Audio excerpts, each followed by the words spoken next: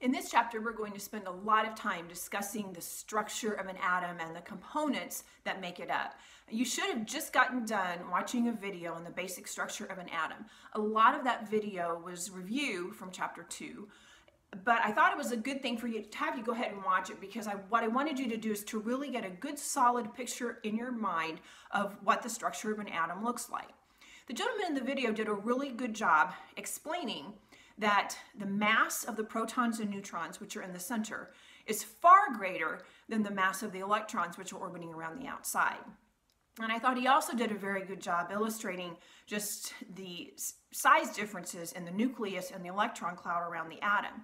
He compared the nucleus of the, the protons and the neutrons together in the center. He said if that were the size of a grape, then the electrons would be nearly a mile away.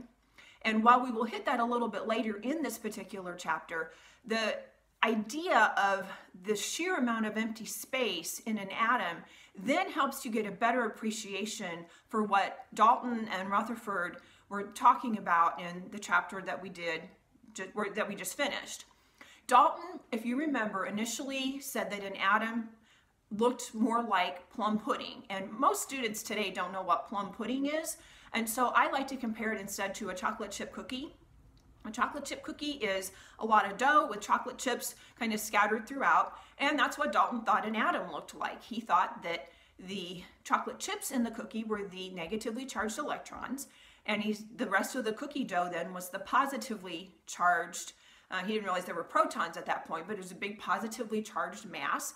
And so he figured, um, Rutherford figured that when he shot those positive particles at that chocolate chip cookie, what should happen is that because the electrons were pretty well evenly spread out among all this positively charged cookie dough, that the positive particles that he was shooting at it would just go straight through because the charges were all pretty well balanced. And as you remember, it didn't turn out that way simply because what was happening was that most of them did go straight through, and now you understand that that's because the vast majority of the atom is empty space. But once in a while, you would have a positively charged particle that would hit a nucleus and then it would bounce backwards or it would bounce off to the side depending on the angle at which it had hit.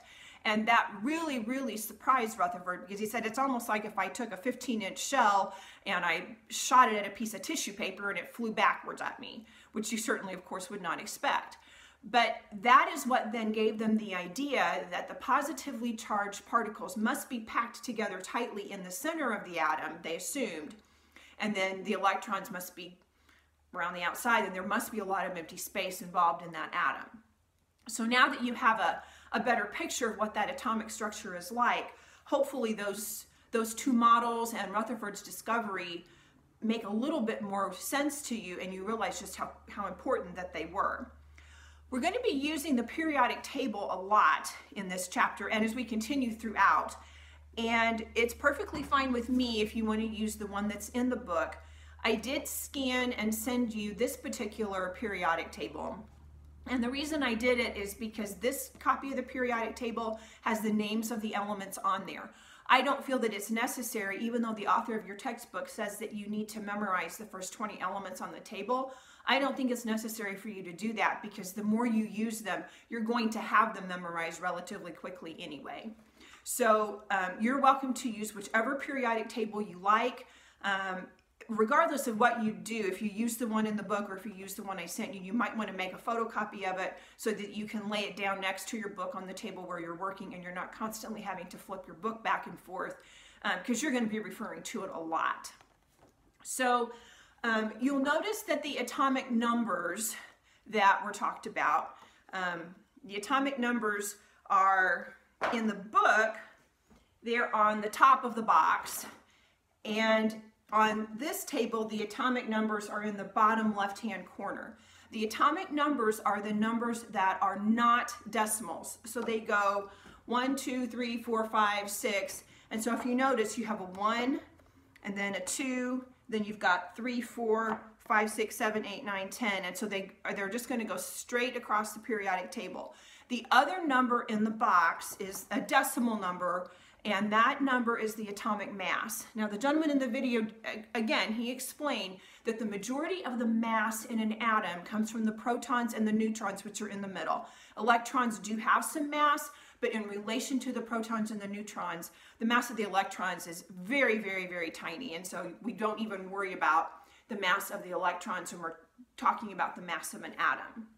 So one thing that I want to be sure that you know how to do is to use your scientific calculator because you're definitely going to need that not only in this chapter but in many of the chapters to come. Um, if you look at neon, neon, its symbol is Ne and it's on the in the right hand column. It's the second one down on the periodic table. So if you've got a periodic table um, find that particular element. You will find that the atomic mass of that element says 20.18 and that is in AMUs. Now what's an AMU? It's an atomic mass unit and it's approximately the number or it's approximately the mass of either a proton or a neutron. AMUs are a very, very tiny unit. Um, a gram isn't very much either, but in comparison, one atomic mass unit is 1.66 times 10 to the minus 24th grams. Um, this is in your textbook. Um, you don't have to have it memorized. It will be on uh, any of the any test or anything that you're that you need it for. It will be given to you. So again, you don't need to memorize that. So let's say that I want to convert this into grams. This conversion is exactly the same as the, the type of conversions that we were doing in the first chapter. So hopefully you won't find it very difficult. You're going to take the 20.18 AMUs that you're given and you're going to put it over 1. Then you need to take this relationship and put it into a conversion factor so that the AMUs will cancel. So the 1 AMU is going to go on the bottom and 1.66 times 10 to the minus 24th grams is going to go on the top. So there, your AMUs will cancel out and you're going to be left with units of grams. Now, you may not have exactly the same scientific calculator that I have, um, and if you don't, that's fine. I'm going to show you how to do it on this one. Um, if you're having trouble figuring out how to use yours, um, see if one of your parents knows how to use it. It should have come with an instruction manual. You pull the instruction manual out and look at that. If all else fails, take a picture of it, send it to me, and I'll try to help you uh, figure out how to, how to get it typed in correctly. So if you're going to do this particular problem on your calculator, uh, first thing you're going to do is you're going to type in 20.18 and then you're going to hit the multiplication sign. When you're going to type in this number, this is the part that you would need to be really careful about. This times 10 gets taken care of when you hit the exponent key. Um, on this Texas Instruments calculator, uh, the exponent key is, a, is an EE, two capital E's. On some calculators, it will say EXP, so it will just depend what particular kind of calculator you have. The biggest problem that I see is that students will try to hit a multiplication sign and then it messes everything up. So you want to be very, very careful when you type it in. So I've typed in 20.18. I've already hit the multiplication sign. And so then what you want to do is you want to type in 1.66. You're going to hit the EE key. And then you're going to type in negative 24. And then you're going to hit the equal sign. Okay. Now what that should give you is 3.35 times 10 to the negative 23rd. And again, it doesn't look like that on the calculator. It looks like 3.35 with the negative 23 up here in the air. But that's not what it means. It means this. So be sure that when you write the answer down, don't write this because this means something completely different than what this does.